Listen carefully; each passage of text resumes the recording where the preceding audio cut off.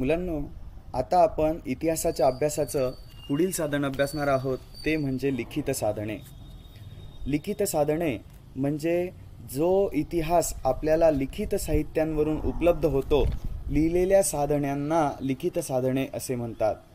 ही साधनं ही माहिती लिहिण्यासाठी त्या काळात ज्या लिपीचा वापर केला जात होता उदाहरणार्थ देवनागरी अरेबियन पर्शियन मोडी आदी लिपींची वर्णं तसेच विविध भाषांची रूपे भुर्जपत्रे पोथ्या ग्रंथ फरमाणे चारित्र यांवरून आपल्याला मध्ययुगातील महत्त्वाच्या ऐतिहासिक घटनांची माहिती मिळते. भुर्जपत्रे. भुर्जपत्रे म्हणजे भुर्ज नावाच्या वृक्षाच्या पानांवर जी माहिती लिहिलेली असे त्याला भुर्जपत्रे असे म्हणतात. तर मुलांनो या विविध लिपी देवनागरी अरेबियन पर्शियन मोडी इत्यादी लिपींच्या मदतीने ज्या विविध भाषांची रूपं भुर्जपत्र पोथ्या ग्रंथ फरमान आणि चारित्र यां स्वरूपात जी ऐतिहासिक घटनांची माहिती आपल्याला उपलब्ध होत असते.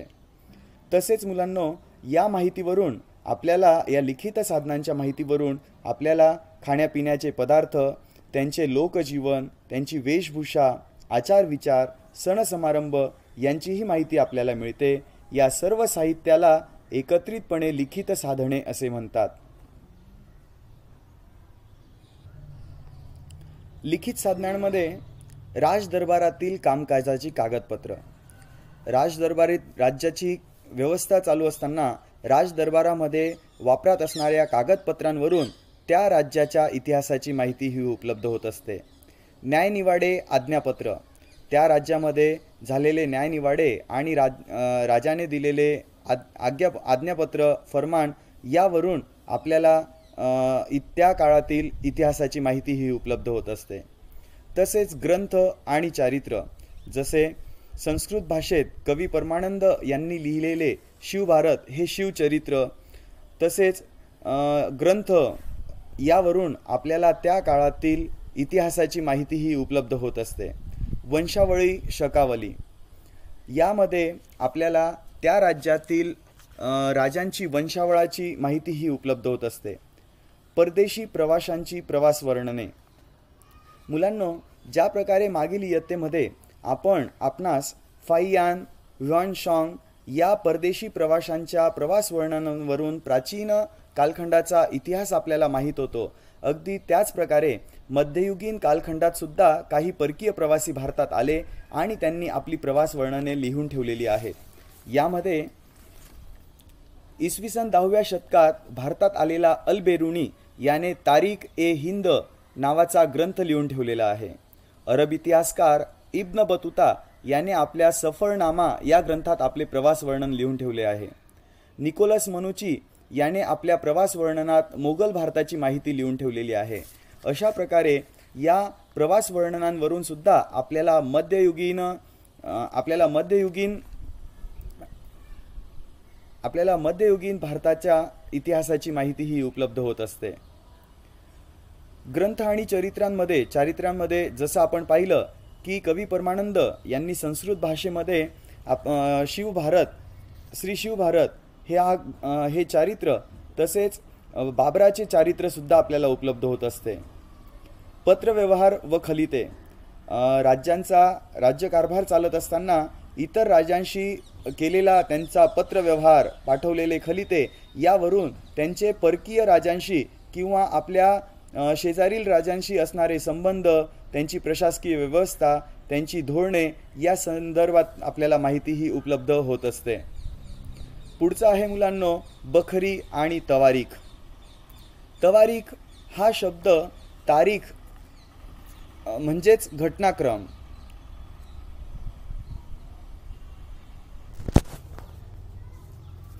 तवारीख म्हणजे एखाद्या कालखंडात घडलेल्या घटनांची सुसंगत मांडणी तारखेसह यात पाहावयाला आपल्यास मिळते.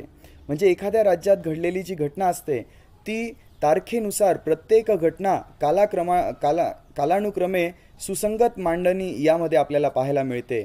अशा प्रकारच्या तवारीखा या अल्बेरुणी झियाउद्दीन बर्णी मौलाना अहमद याया बिन अहमद मिर्झा हैदर भीमसेन सक्सेना आदींनी लिहिलेल्या तवारीखा उपलब्ध आहेत. पुढचं लिखित साधन आहे ते म्हणजे बखर. बखर हा शब्द खबर म्हणजे बातमी या शब्दावरून आलेला आहे. बकर हा लिखित साधनाचा प्रकार महाराष्ट्रात निर्माण झालेला आहे. बकरीतून आपल्याला तत्कालीन राजकीय घडामोडी भाषा व्यवहार सांस्कृतिक जीवन सामाजिक परिस्थिती इत्यादी बाबी कळायला मदत होत असते. मराठीतील अनेक बखरी या घटना घडून गेल्यानंतर अनेक वर्षांनी लिहिलेल्या असल्याने म्हणजे त्यात अनेकदा एकी माहितीवर भर असल्याचे आपल्याला आढळते. म्हणून या माहितीमध्ये सत्यता सत्यता असेलच असे नाही. बखरींमध्ये महिकावतीची बखर सभासद बखर एक्क्याण्णव कलमी बखर चिटणीसाची बखर भाऊसाहेबांची बखर खरड्याची लढाईची बखर या काही बखरी होत. रॉबर्ट आम एस पी स्प्रेंगल आणि ग्रँड डफ या समकालीन पाश्चात्य इतिहासकारांचे ग्रंथही महत्त्वाचे आहेत. म्हणजे मैकावतीची बखर सभासद बखर एक्क्याण्णव कलमी बखर चिटनासी चिटणीसाची बखर भाऊसाहेबाची बखर खरड्याच्या लढाईची बखर या आपल्या मराठी बकरी आहेत तर काही पाश्चात्य विदेशी रॉबर्ट आम एस पी स्प्रेंगल आणि ग्रँड डफ या पाश्चात्य इतिहासकारांचे ग्रंथसुद्धा आपल्याला उपलब्ध होत असतात. त्यामध्ये मुलांना आपल्याला शिवाजी महाराजांचा इतिहास समजण्यासाठी सभासद बखरीचा उपयोग होतो. खाफी खान याने आपल्या बखरीतून शिवाजी महाराजांचे वर्णन केलेले आहे. ग्रँड डफ याने लिहिलेल्या बखरीतून आपल्याला भारताच्या स्वातंत्र्य लढ्याचा अभ्यास करण्यासाठी उपयोग होत असतो. अशा प्रकारे मुलांना या लिखित साधनांचे सुद्धा आपल्याला इतिहासाचा अभ्यास करण्यासाठी मदत होत असते. ही साधने बऱ्याचदा ज्या बकरी आहेत ही साधने एकीव माहितीवर असल्याने त्यांची सत्यता पडताळून पाहणे खूप गरजेचे असते. यानंतर आपण इतिहासाच्या अभ्यासाचं पुढील साधन अभ्यासणार आहोत ते म्हणजे मौखिक साधने. मौखिक साधने म्हणजे मुखोद्गत साधने. मुखाने सांगितलेली गोष्ट. ही मौखिक साधने लिहून ठेवलेली नसतात किंवा ती डोळ्यांनी दिसतही नाही. तर ती साधने ही लोकपरंपरेतून एका पिढीकडून दुसऱ्या पिढीकडे जात असतात.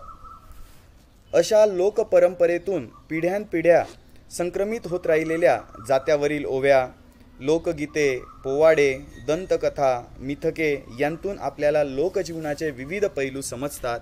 अशा प्रकारच्या साधनांना मौखिक साधने असे म्हणतात. जसे आपल्या आजीने आजीकडून ओव्या या आपल्या आईने शिकलेल्या असतील तर त्या आईकडून आपल्याला शिकावयास मिळतात. अशा प्रकारे ही मौखिक साधने तोंडी स्वरूपात या पिढ्यानपिढ्या वंशपरंपरागत संक्रमित होत असतात. वरील तिन्ही प्रकारच्या साधनांच्या आधारे इतिहासाचे लेखन हे केले जात असते. इतिहासाचे एकदा लेखन केले तरी त्याविषयीचे संशोधन हे अखंडपणे चालू राहतेच. या संशोधनातून नवी साधने नवी माहिती समोर येत असते. त्यानुसार इतिहासाचे पुनर्लेखन करावे लागते. म्हणजे नवीन माहिती सापडली का इतिहासाचं पुनर्लेखन केलं जात असतं आणि नवीन माहितीच्या आधारे जर आधीची माहिती जर चुकीची वाटत असेल तर त्यात बदल केला जात असतो. आणि म्हणूनच आपल्या आजी आजोबांनी अभ्यासलेल्या इतिहासाच्या पुस्तकात आपल्या आईवडिलांनी अभ्यासलेल्या इतिहासाच्या पुस्तकात आणि आपण अभ्यासत असलेल्या इतिहासाच्या पुस्तकात काही प्रमाणात बदल झालेले असतात. हे बदल वेळेनुसार झालेल्या संशोधनातून समोर आलेली नवीन माहिती सत्यता पडताळून त्या पुस्तकांमध्ये बदल हे केले जात असतात. माहीत आहे का तुम्हाला? मौखिक साधनांमध्ये ज्या पोवाड्याचा समावेश होतो त्यापैकी तानाजीचा पोवाडा. या पोवाड्याचा करता तुळशीदास शाहीर आहे. या पोवाड्यात सिंहगडच्या मोहिमेचे वर्णन आहे. पोवाड्यात तानाजी मामा तानाजी शेलार मामा शिवाजी महाराज वीरमाता जिजाबाई यांची सुंदर स्वभावचित्रांचे वर्णन या पोवाड्यातून केलेले आहे. या पोवाड्यातला काही भाग या पाठ्यपुस्तकात दिलेला आहे. तो वाचून आपण त्या पोवाड्यात दिलेला दिलेलं वर्णन हे समजून घेऊया. मामा बोलाया तो लागला ऐंशी वर्षीचा म्हातारा. लगीन राहिले रायबाचे ते मंजला सांगावी. माझ्या तानाजी सुभेदारा जे गेले सिंहगडाला त्याची पाठीरे पाहिले नाही पुढारे पाहिले ज्याने अंबारे खाईला बाठा बुजरा लाविला किल्ला हाती नाही आला त्याचे झाड होऊनी आंबे बांधले. नको काढू नको तानाजी सुभेदारा सिंह गि सिंहगड किल्ल्याची वार्ता. जे गेले सिंहगडाला ते मरुण शानी गेले. तुमचा सपाटा होईल असे बोलू नको रे मामा आम्ही सूर मर्द क्षत्री नाही भिरणार मरणाला. अशा प्रकारे मुलांनो या पोवाड्याच्या पोवाड्यातून आपल्याला या विविध पात्रांचे सुंदर स्वभाव चित्रांची माहिती ही होत असते. विद्यार्थी मित्रांनो या पाठातील शेवटचा मुद्दा आता आपण अभ्यासणार आहोत तो म्हणजे ऐतिहासिक साधनांचे मूल्यमापन. आत्तापर्यंत आपण इतिहासाच्या अभ्यासाची भौतिक साधने लिखित साधने आणि मौखिक साधने अभ्यासली. ही सर्व साधने वापरण्यापूर्वी आपल्याला काही काळजी घेणे हे आवश्यक असते. त्यांची विश्वसनीयता आपल्याला तपासून पाहावी लागते. यातील सत्यता किती आहे? अस्सल साधने म्हणजे खरी साधने कोणती आहेत आणि बनावट कोणती आहेत? ते आपल्याला शोधून पाहावे लागते. अंतर्गत प्रमाणके पाहून त्यांचा दर्जा ठरवता येतो.